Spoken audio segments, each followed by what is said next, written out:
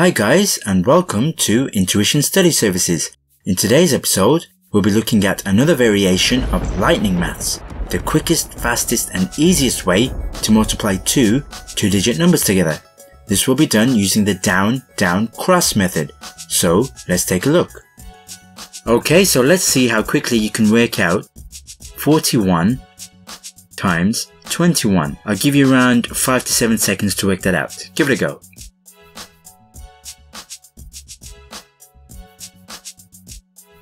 Okay, time's up. Now, if you got the answer as 861, fantastic. But if you felt that you ran out of time, not to worry. I'm going to show you the quickest way of getting that using this method. Okay, so first of all, as you can see, there are two columns. There's the tens column and the units column. So we want to move over to the tens column first of all, I'm going to multiply downwards. So we multiply 4 by 2, and that gives us 8. So we put that here, underneath in the hundreds column. Then we move on to the units column. We multiply downwards again. So that's 1 times 1, which is 1. We put that here. And finally, we want to multiply crosswise. So we multiply right to left. We can multiply left to right as well. This is personal preference. So we do 1 times 2, which is 2. And we put the mini working here. Again, this is optional and you can actually do all this mentally as well. Then we multiply 4 by 1, that gives us 4, and we want to add these numbers together, and that gives us 6, so I'm going to put the 6 in the middle there, so the answer is 861. Now as you can notice, the pattern, we have a down arrow, we have another down arrow, and a cross in the middle, hence the name down, down, cross. Also, these arrows and this mini working here is completely optional. You don't have to show this. You can actually do all of this mentally as well. I'm just showing you this for demonstration purposes and I've deliberately slowed all of this down so that it can be easily understood. Okay, so let's take a look at another example. Let's consider 32 times 74. Let's see how quickly you can do that. Give it a go.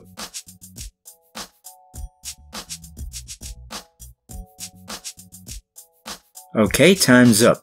If you got 2368, well done. But if not, don't worry, we can use the down, down, cross method to get the answer. Okay, so let's go to the tens column and multiply downwards, so that's 3 times 7, which gives us 21. So put that together down here. Then we move to the units column, and we do 2 times 4, which is, gives us 8, and we put that down there. Then finally, we do the cross. So we do 2 times 7, which gives us 14. And we want to add that to 3 times 4, which gives us 12. So that gives 26 in total. Now we have a two digit number here. So what we want to do is we want to put the 6 here and we want to carry the 2 here. Now we can put the 2 either at the top or we can even put it at the bottom as well. Again, this is personal preference, is just to show that this number is being carried, okay? Now, finally, what we need to do here is to get the final answer, we need to add this 2 to this 21.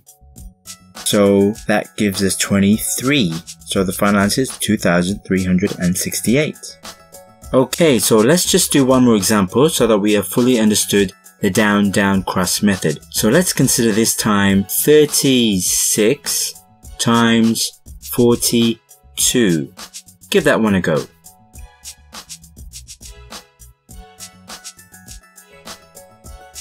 Okay, time's up. Did we get 1512? Don't worry if you didn't. Let's just use this method again to get the answer. So moving on to the tens column, we do 3 times 4, which gives us 12, and we put that down there. Then we do 6 times 2, which is 12 again. Now, as we have a two digit number, we can only fit one digit in the answer box. So we put the 2 there, and we carry the 1 over. Then we do the cross, so we do 6 times 4, which is 24. And we want to add that to 3 times 2, which is 6. That totals to 30. Now, in the answer box, we can only fit one digit in. So we gotta carry the 1 from before, and that gives 31. So we put the 1 here, and the 3 there, as it's been carried. So that 3 now gets added to the 12 from before, so that makes 1512. Okay, so hopefully by now you would have got a good handle on the technique. So what I'll do is I'll leave it with these three questions for you to try. You can pause the video and I'll join you in a few moments. Okay, so let's see how well you did at these questions. Starting with the first one. So that's 2 times 3, which is 6. Then we do 8 times 4, which is 32. Carry the 3. Then we do 8 times 3, which is 24. And we're going to add that to 2 times 4, which is 8.